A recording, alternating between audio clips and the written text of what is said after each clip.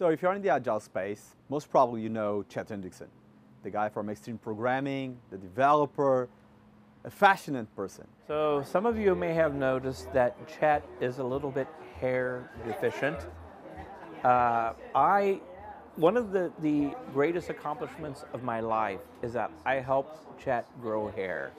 You may think that's funny, but I have pictures to prove it. Here they are.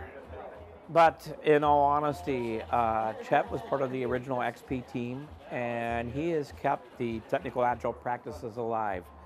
Uh, a lot of people owe their, their, their passion around software quality and around agility to Chet.